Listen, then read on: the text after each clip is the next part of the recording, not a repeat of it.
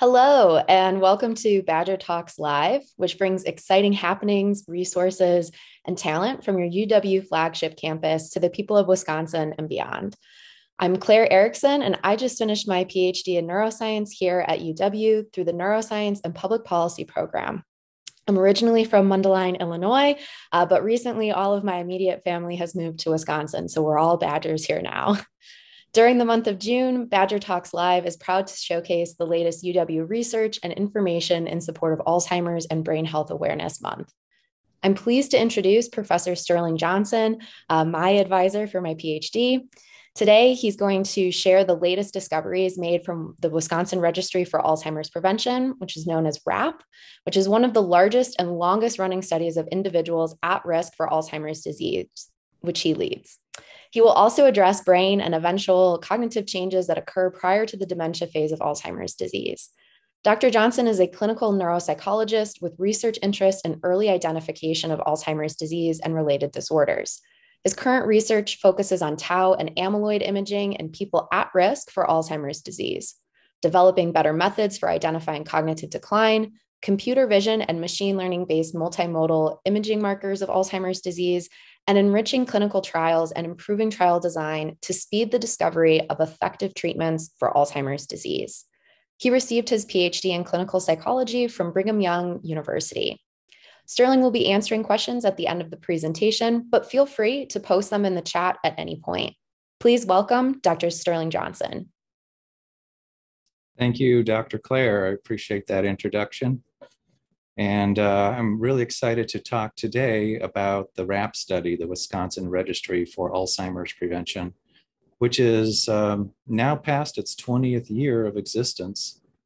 This study was started by my colleague and, and friend, Dr. Mark Sager, uh, whose vision um, really put this whole thing in, into place.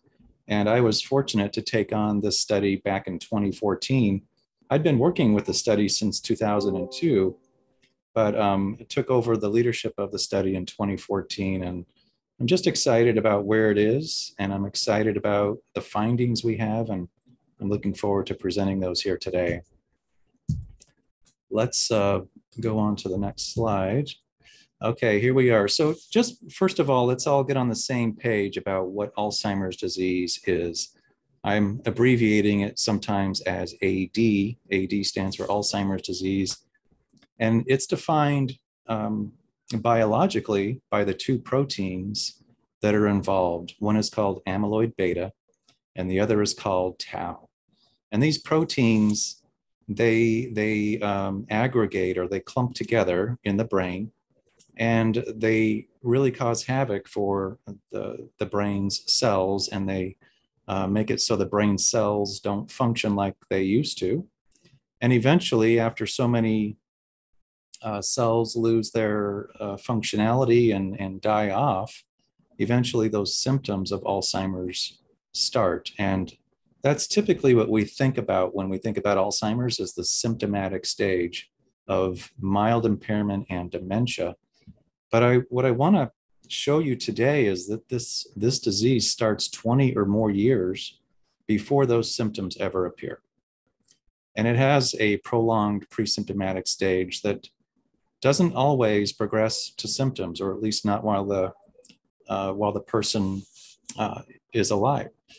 And, uh, and so they may get to the point where they die, die of something else and their symptoms never do progress. The very exciting thing that I want to um, bring to your attention today is that we have tools, we have um, techniques that help us understand whether or not Alzheimer's is present. This is so important because there's other diseases that can co occur or that can mimic and imitate Alzheimer's disease.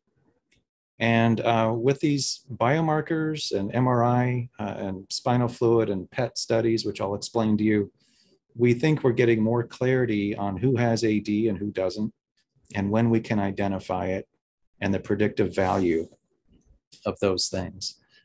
This is so important because in the US alone, there's 5.8 million of us that have Alzheimer's disease right now, Alzheimer's disease dementia. And this is a fairly rough estimate because we haven't had the kind of biomarkers I'll be talking to you about uh, uh, for the, the statisticians who made this estimate, it was mainly based on a clinical diagnosis, which we know is not often accurate.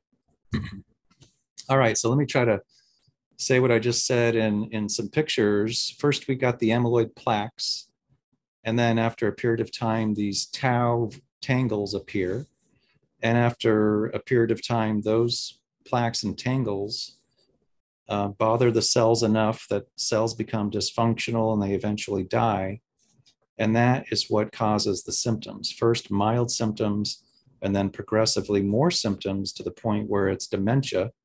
And dementia is that umbrella term that defines when a person has lost enough cognitive function that they're no longer capable of doing the things they used to do and functioning effectively in their world and they need assistance and it continues to progress.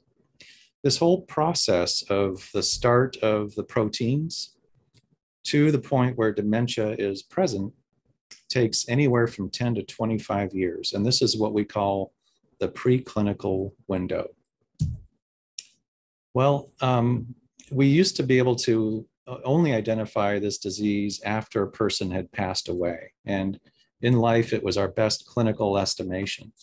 Now with these biomarkers, which I'm showing you some examples of here, we can, we can see this disease up close. And um, what the neuropathologists would look at are these slides in the middle, the, the plaques and the, and the neurofibrillary tangles. We have imaging for amyloid plaques here on the left and imaging for tau tangles here on the right. And these things are really helping us understand the disease way earlier than we ever could before, certainly before a person passes away. Here's an example of how this works. We have two patients here. They both have mild memory symptoms. As you can see, the one on the left has a signal on their PET scans. The top one is their amyloid PET scan for these amyloid proteins. The bottom one is the tau scan for their tau proteins, which, which forms tangles. You can see that in red. And um, the participant on the right, participant number two, is negative for both amyloid and tau, meaning that they don't have these proteins in their brain. And this is often how very clear this can be um, with these kinds of biomarkers. You see that there's a profound difference between these two people on the same kind of PET scan. One has the proteins, the other doesn't. And that's why you see these differences. Well, um, what I'll be talking to you today about is how we can use these things. And we call um, amyloid, we sometimes abbreviate that as A, A for amyloid, and T stands for tau. And you can be plus or minus on these things, plus meaning you're amyloid positive or tau positive, and um, and the minus sign for for being negative on these things. And so these mean different things, and they help us uh, profile a person's biomarker um, pattern to um, to tell us something meaningful about the disease. And we identify the syndromes or the staging of cognitive impairment on a separate scale from unimpaired to mild impairment to dementia. All right, well, let me, with that background, um, I think we can now talk about the Wisconsin Registry for Alzheimer's Prevention, which is, as I said, in its uh, um, 20th year, 21st year now. Our main goals are, are to, to identify Alzheimer's disease before the symptoms ever appear and to identify the genetic and the health and lifestyle factors that might slow it down or even help us uh, get insight into what would prevent this disease. Before I get into the science, I want to um, explain how we approach science and people. We couldn't do this research without partnering with the with the community, with volunteers, and our whole purpose and how we interact with our volunteers who are so generous with their time is that uh, we, we want to do this such that we can discover and share knowledge on how to prevent this disease, to empower all communities to prevent this disease. And why us? It's because we have uh, we have the incredible resources of the University of Wisconsin, the imaging, the technology, but also this incredibly large and committed cohort of people who um, are at higher risk for this disease. And I'll talk about that. And these are our core values of how we go about doing this scientific discovery in a way that's generalizable to all communities, respectful engagement with our participants, high quality research data that is easy to access and share so that people throughout the world can use our data to make discoveries. And we want to do this so that we can improve the brain health of our participants and the communities that they come from. All right, well, let me talk more about the WRAP study. This is part of our Alzheimer's program here at the UW. That's, it's a sister study with our Alzheimer's Disease Research Center. Uh, WRAP itself is based in the Wisconsin Alzheimer's Institute. And together the Institute and the, and the ADRC, the Research Center, is our educational and outreach arm and our scientific arm of our program. And we, we're all the same people in these different institutes and centers, and we work together. And we are working to um, make new discoveries and also disseminate those discoveries throughout the, the communities and, and the state and beyond. Okay, what is WRAP? It's a longitudinal study that so far has about 1,725 people in the study, about 1,250 are active. They enrolled at a mean age of 54, baseline age. And on average, there's about 12 years of follow up. Most of them have a parent who had Alzheimer's disease, and uh, 73% had a parent. Some of them have a risk factor gene called APOE that we can talk about.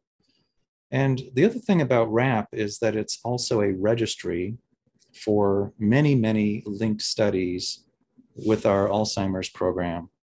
And so it's both a, a, an observational longitudinal study in and of itself and a registry for other linked studies to piggyback on WRAP. Here's where our participants come from.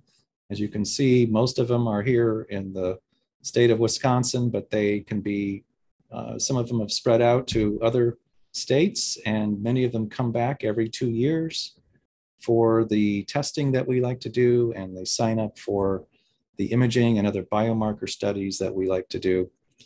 Um, the average age of our participants is about 67. 70% are women, 73% have a family history. And there's some other demographic and health characteristics here Many at this age have um, obesity uh, or high cholesterol or high blood pressure, 40% of high blood pressure. And so these are fairly typical of this age range of being in a, a person's late 60s and early 70s. Okay, what have we discovered? What's been our impact? I want to talk about a couple things today. And uh, uh, here's the three things that I think have been our main discoveries of late. One is that we've determined the age that Alzheimer's disease starts from these brain scans that I mentioned to you earlier. The second is that we can identify subtle cognitive change.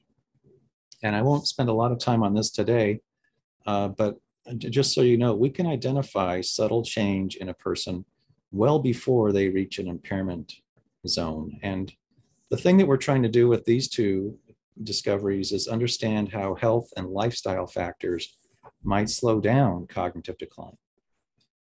In our frontier, what we want to do next is expand the, uh, use the information we're collecting to expand that interval between when the disease starts, the proteins start, and when cognitive decline happens. Okay, well, let me go to some of our um, discoveries and some of the science that we've done in the past few years. And we'll start with this one from 2020, uh, which is now um, a couple years ago.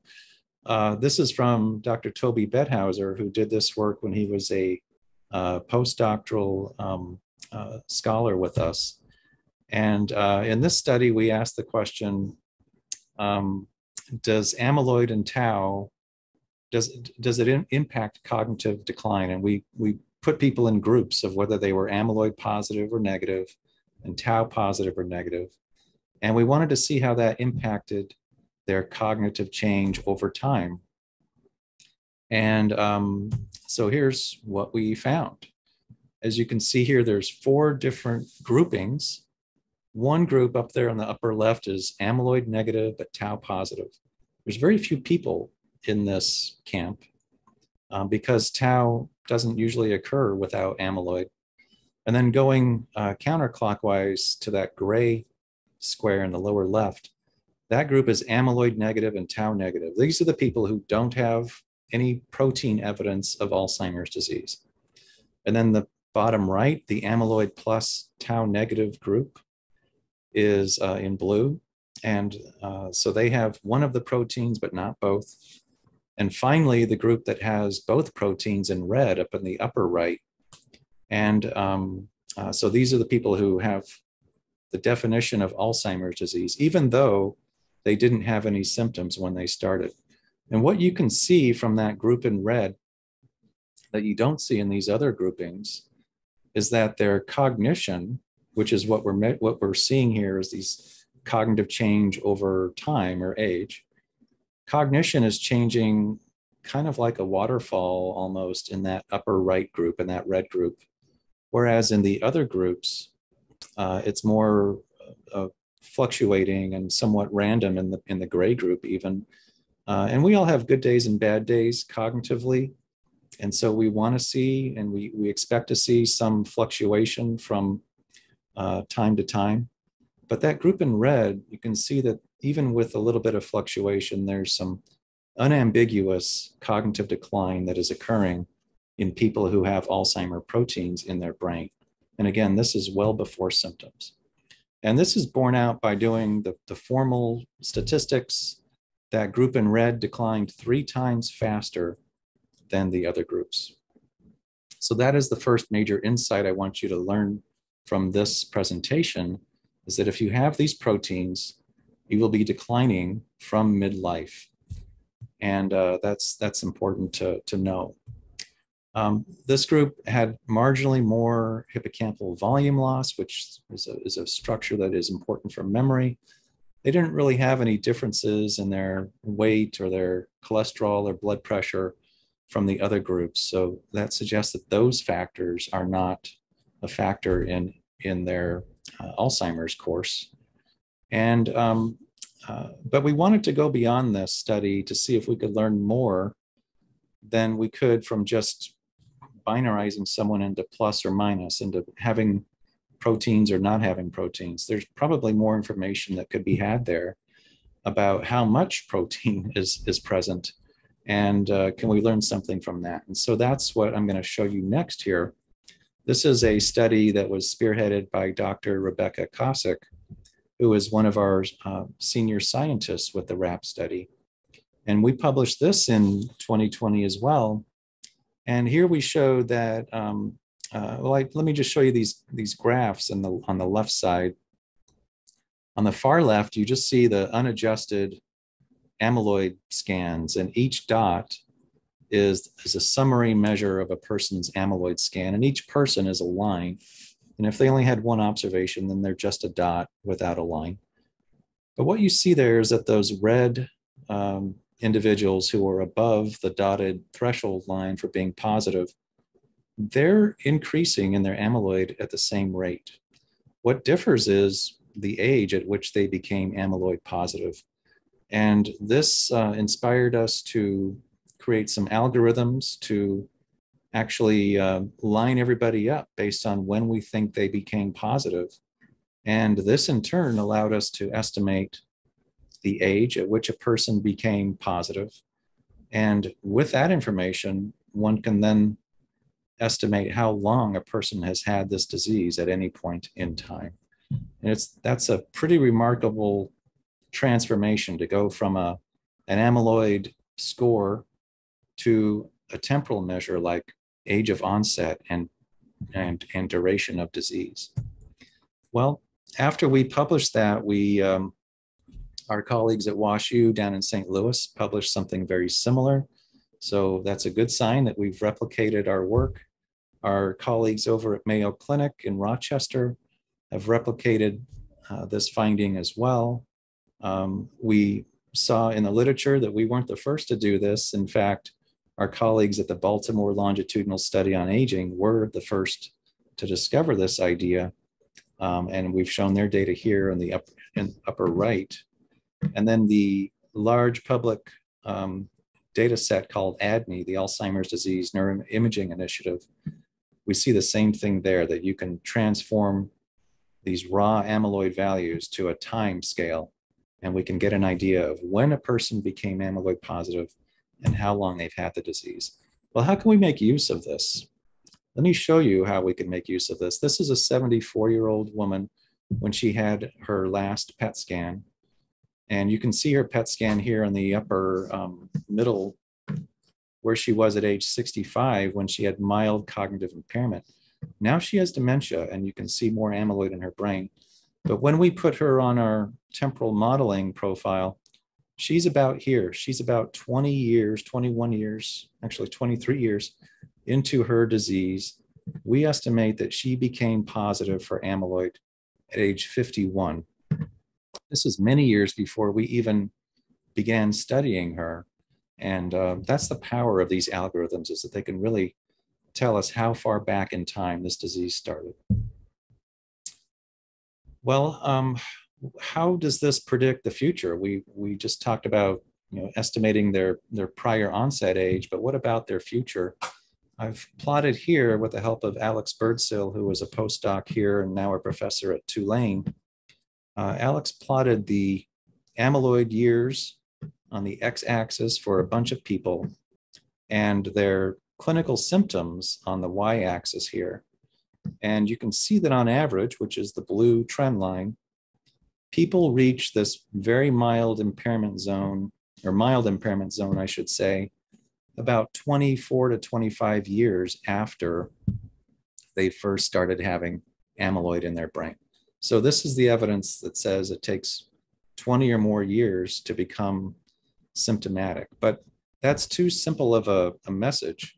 There's certainly people well after 20 years who don't yet have symptoms, but there's a whole bunch of people who reach symptoms at um, uh, eight or 10 or, or 15 years after becoming amyloid positive.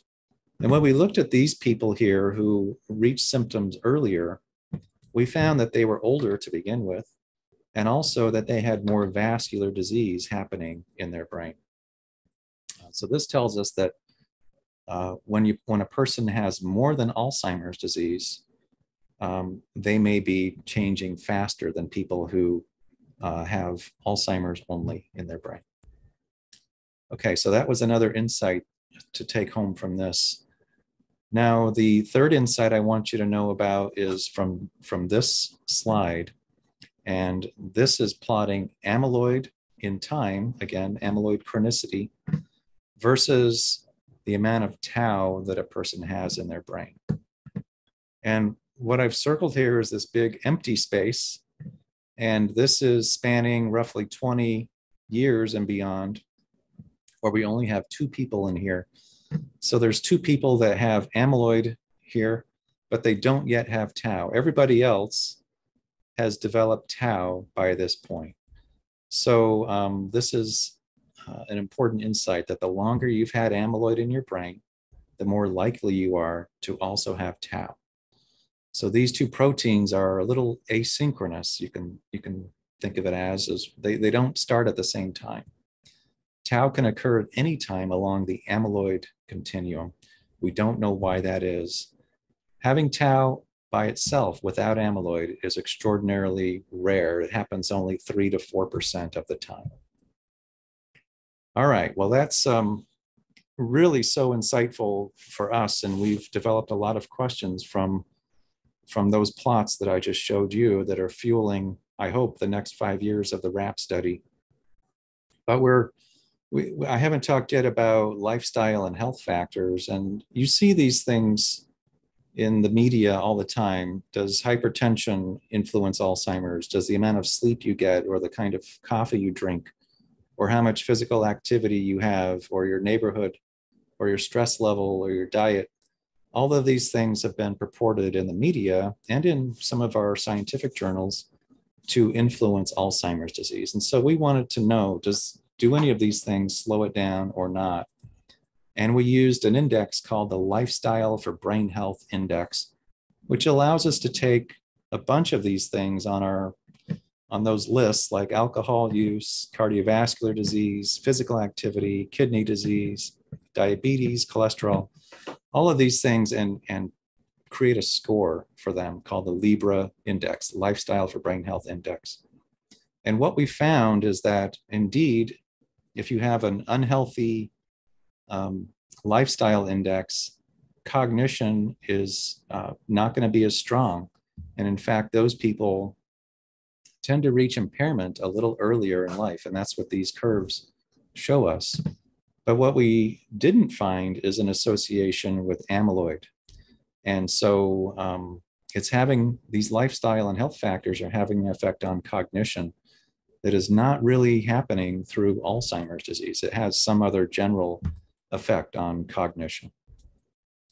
Well, um, I'll just end this section by um, taking a little sidebar of five ways of promoting brain health. This may not necessarily slow down Alzheimer proteins, but it'll certainly keep you cognitively healthy, healthier for longer. And we can break these five things up into two, um, two general sets. The one first thing to do is to see your doctor and talk about your blood pressure, your cholesterol, uh, whether you're whether you have diabetes and uh, reducing your risk through um, lowering your weight in many cases, um, stopping to smoke if you're smoking, um, treating any depression or mood or other um, anxiety related or, or um, depression related things that are going on in your life. And then on a daily basis, what we can do without the help of our doctor usually is um, make, make sure we're exercising regularly, making sleep a priority, uh, having a good diet, something like the Mediterranean diet. Um, I'm not saying this is definitely the diet to do, but a diet like this that favors whole foods and good foods over processed sugary foods is, um, is a good way to go. And challenging your brain cognitively with activities that you like to do. These are all ways of helping our brains stay healthy.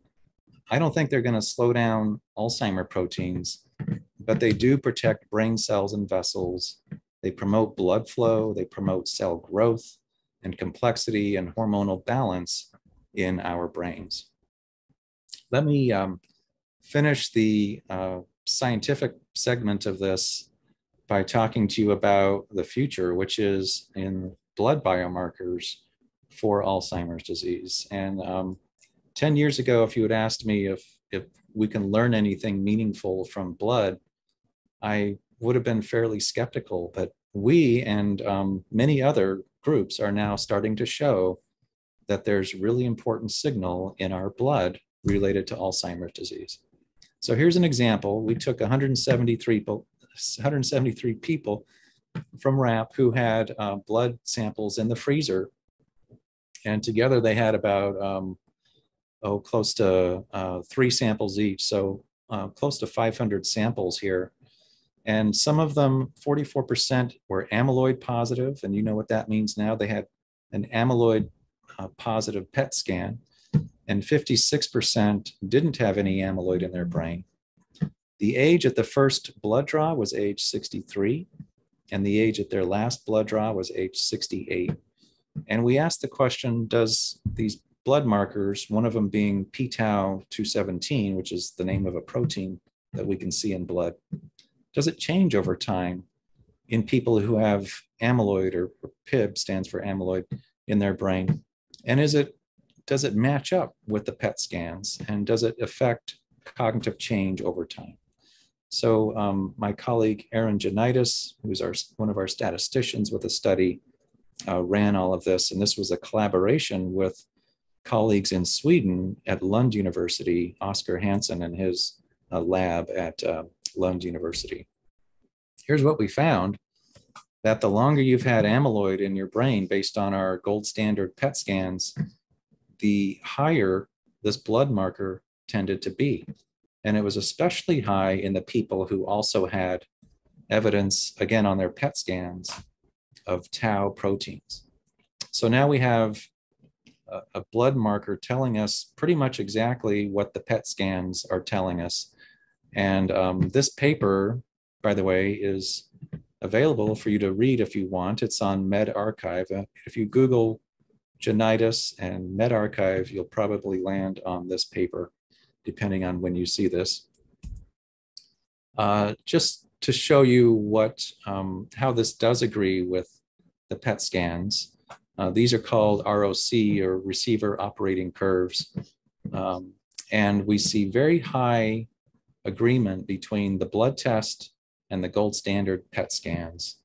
And um, this is this is ex extraordinarily encouraging uh, early findings. I'll emphasize that it's an early finding in the study um, that needs to be replicated in an even bigger sample, but it is very characteristic of what we're finding as a field these days, and I'm excited and encouraged by it. What about cognition? Uh, the blood marker at age 63 did indeed predict later cognitive change. And the people with low values in, the, in their blood, uh, which are in blue, didn't change all that much cognitively over time. But the people who um, had high levels in their blood of this p-tau 217 marker, they were changing quite a bit on their cognitive measurement over time. And that is reflected here in this orange uh, color. This is remarkable because most of these individuals were unimpaired at the time of that first blood draw at age 63. All right, well, what about um, other communities? Um, we have looked at a different marker called amyloid, A beta 42 to 40. It's a ratio of amyloid uh, proteins that you can detect in blood. And we looked at 179 uh, African Americans who are part of our program, both in WRAP and in the sister cohort, the Alzheimer's Research Center. And the first uh, blood draw here was at age 66 on average. And what we're seeing here is that the people with the more harmful levels in the, in the lowest 10th percentile of amyloid, those are the people who are taking longer to do certain tests and having um, worse performance over time on their memory tests. And this uh, very much corroborates what I just showed you with that p-tau 217 result. And this result is, is specific to African Americans, and it shows that we're seeing the same thing here in this community that we see in the majority community. And um, that, again, is very encouraging. And it suggests that these markers will be useful in the kinds of communities that are going to be meaningful to study. Well, what is next with these blood markers? Um, we know that these proteins are detectable in the blood. We think that a blood test is going to be in the future for this disease, and this will greatly accelerate discoveries, and it will help doctors advise patients and diagnose patients and even treat their patients because they can use levels in the blood as a potential outcome and to know if their treatment is, is effective or not. But there's a lot of unanswered questions that we still need to do research on to really deploy these blood markers in a, in a routine way. And one is to know how much amyloid and protein, how much amyloid and tau protein in the blood is abnormal. And what should that threshold be? And is that threshold the same for all communities? These are things we're working on. What do we mean by abnormal? Um, can we predict cognitive decline? Are the results generalizable? Uh, in order to answer these kinds of questions, we need people in the study uh, who are willing to do that blood sample and also who are willing to undergo a test like these blood these uh, PET scans so that we can get the gold standard and then compare that to the blood test in the same individual. This is work we're doing now. It's a work that we have ongoing in the WRAP study, and we're very excited about um, where it's going to go next. Well, um, let me show you one more result here, and then we'll, we'll kind of sum it up. Um, the context here is that this disease can start anytime in midlife or beyond. And I'm showing you results now from Dr. Betthauser's most, most recent paper, um, which is now uh, in press in the journal Brain. And um, what we've found here, or what we've what we've plotted here, is the amyloid onset age. So this is age on the y-axis, and these dots are um, the ages at which people in the study uh, were observed to have uh, or were estimated to be become amyloid positive. You can see that the age of onset, the youngest age of onset was around age 40. The oldest age of onset was about age 95, 96-ish. And this says that this disease, no matter your genetic background, this disease can happen at any time from midlife and beyond. And we really do need a blood test to detect this. It's not enough to have these PET scans and have a positive or negative on the PET scan. We need to know how much is there. And we need to know um, when it started. These PET scans are probably a little too um, unwieldy to, to do on a population basis. A blood test would be so much better. So we're excited about where this research is going to go. To summarize, uh, AD, Alzheimer's disease, is detectable years before its symptoms with these biomarkers. The, pe the people who have amyloid and tau proteins uh, in their brain have been declining from midlife. And uh, because they are the people who have the disease and they're the ones who will likely, in my opinion, they're the ones who will be getting dementia in their 60s and 70s and, and so on. Uh, amyloid onset varies widely, as I just mentioned, from 40 to 90, but it's estimable. If you have the ApoE gene, you have a higher likelihood of getting amyloid earlier in life. The temporal information that we can get from PET scans is remarkable. Can we get the same temporal information about age of onset and disease duration from a single blood test? We hope so. We think it might be possible. Um, amyloid in the brain happens slowly and predictably, but it's not really benign. The longer you've had it, the more likely you are to develop the other protein, tau, and also to develop cognitive change, cognitive decline. Um, finally, um, the lifestyle and health factors do seem to influence cognitive change. They don't seem to influence the amyloid protein itself. Uh, we're still investigating this, and we'll have more uh, to come on this in the near future. And we're excited to really scale up the kind of investigations that we can do through the use of these blood biomarkers.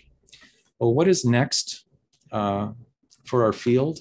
Just in the big picture, what's happening is that there are clinical trials that are very encouraging. These clinical trials are using drugs that um, remove amyloid very effectively from the brain in people who have amyloid proteins in their brain. The new class of drugs that are being investigated these days pull that amyloid out. The question that the pharmaceuticals uh, companies and researchers need to figure out is when is the best time to give those drugs? And uh, that is what we're working on now. Finally, if, uh, if there's people watching today or uh, people watching um, who, who have symptoms or who have a loved one with symptoms that might be Alzheimer's disease. If you're in Wisconsin, you can go to uh, any of our clinics throughout the state through the WAI Clinic Network, the Alzheimer's Institute Clinic Network, which are at these starred locations. You can um, identify clinics that are affiliated with our with the Wisconsin Alzheimer's Institute at our website, wai.wisc.edu. And again, this is for people who may be having symptoms or are concerned about someone with symptoms. And finally, for more information on the latest science of this disease as it's happening, you can sign up for the Dementia Matters podcast, which is a, um, a well listened to podcast that uh, covers this whole field and it translates the science into accessible uh, conversation. It's hosted by our very own uh, Nate Chin, who's a geriatrician with UW and the medical director for the WRAP study and also the ADRC study. And uh, there's ways to listen to that, which are, are listed here. So, with all of that, let me thank you for being here today uh, and listening to this if you've made it this far, and also acknowledge the many people who've made all of this possible, especially uh, the participants who are volunteers who, have generously donated their time to making these studies a success. Sterling. And also, yeah, Oh. thank you. Go yeah, I was just going to say thanks so much uh, for sharing all of this important information. And we have a, a large group of people tuning in today, which really indicates the need for the importance of all this information being shared with people because it affects so many families. Um, so let's see, where do I start? Um, does Medicare cover PET scans? Is that in your wheelhouse at all? Um, or where would people go to find that? Yeah, it's it's um peripherally in my wheelhouse, and the answer is it really does not cover PET scans. Those would need to be paid for out of pocket at this point. I think once we get a, a, a drug that is clinically approved and useful, um, that Medicare will need to start covering PET scans, but right now they don't. They just covered in in a, a small number of research studies, but not in broad use. Okay, great. Thank you so much. Uh, let's see, we have another question. Oh, this is a comment. This is amazing material. Um, another comment, many thanks for sharing the findings, which is useful. I must work on the five ways to improve brain health.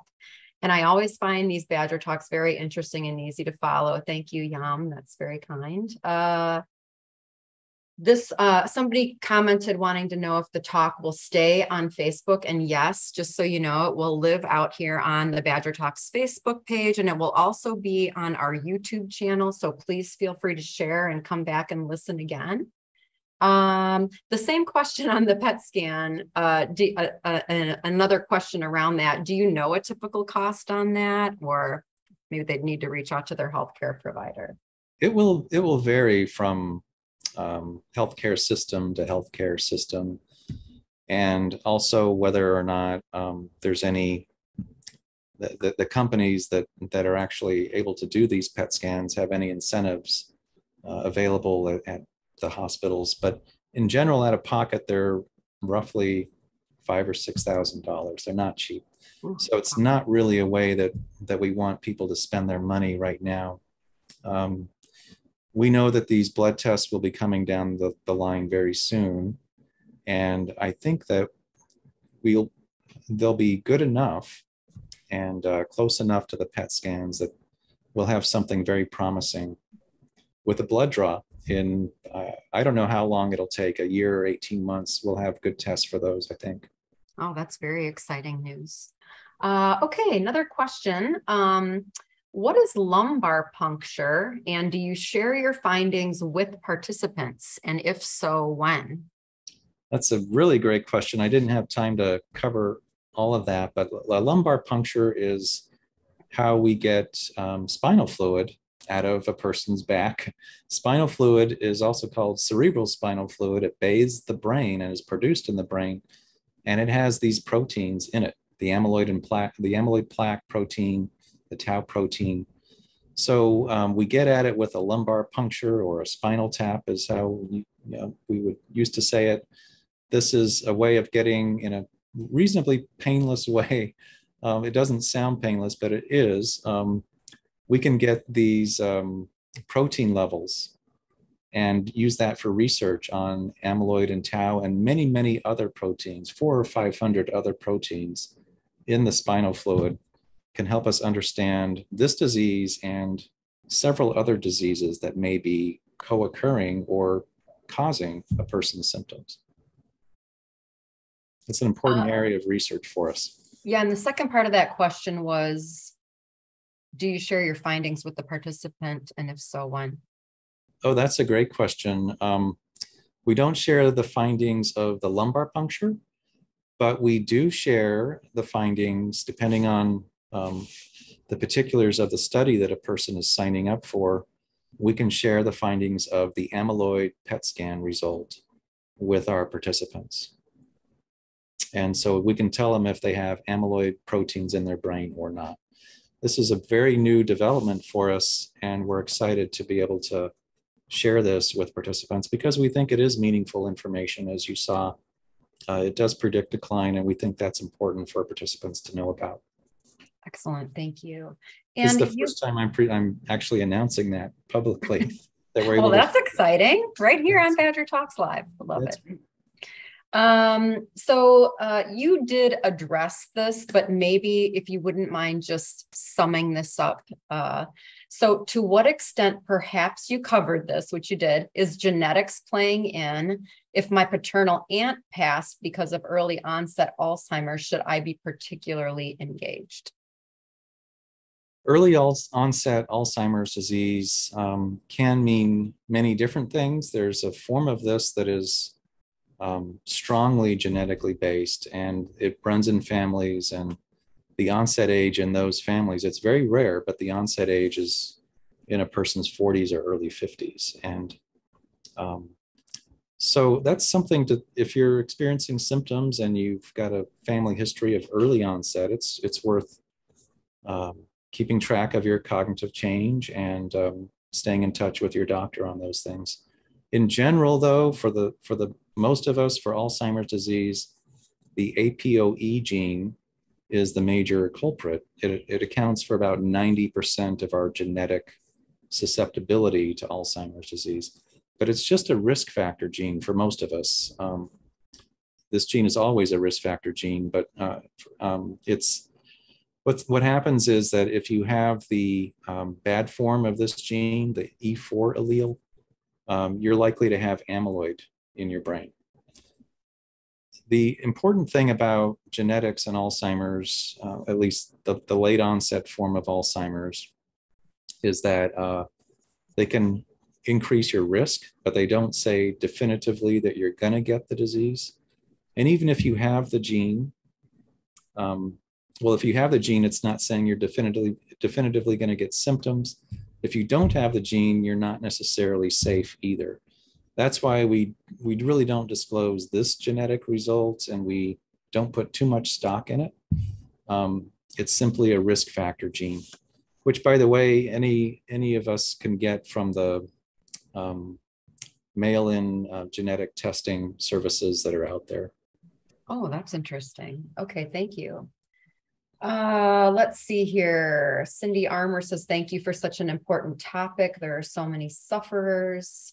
Um, I think you also touched on this, but Cindy Armour asks, are you are looking for participants? Um, and are you looking for volunteers who do not yet have symptoms of dementia?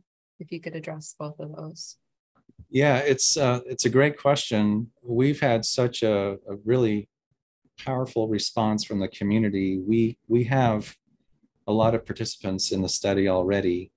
We are still open as a study to new recruits, and we're prioritizing people who come from groups that are traditionally less represented in research, especially African Americans or people from Hispanic backgrounds or um, or other uh, minority backgrounds. We would love to have individuals from those communities be a part of our study. And we already do have um, uh, quite a few. In the WRAP study, we have over 200 African Americans in our study so far.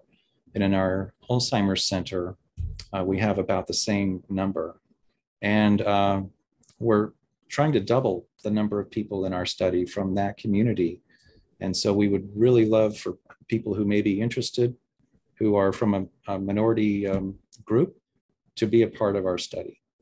Great. And I did post those links uh, in the chat, so feel free to reference those. I put the WRAP link out there as well as the WAI link. So you can find more information out there. Um, one final question um, regarding participants in the study again. Do you share the level of tau also? We, uh, right now, we do not. And that's something that we're, we're continuing to watch and um, gather enough evidence so that we can start sharing that in the future. Right now, we don't. And it's, it's just mainly because it's too new. And we need to make sure that the signal that we're seeing is truly predicting cognitive change. As you saw, I think it is, but we just need to get enough evidence um, to to make sure we can do it in a in a way that's safe and helpful and um, and meaningful for our participants. And I, I don't think it'll be too much longer before we start doing that. We So do. I- Oh, go ahead. I was going to say we we do share um, cognitive change. Most people start the study cognitively normal. If we're observing cognitive change, and to the point where a person has mild impairment or dementia, we certainly work with them and their doctor on on sharing that information. So I, I like to ask our speakers sort of like this kind of pie-eyed question. So um, so bear with me here, but just and and no one will hold you to this, but if someone were to say, when will there be a cure for Alzheimer's disease? What would your answer be? That's a great question.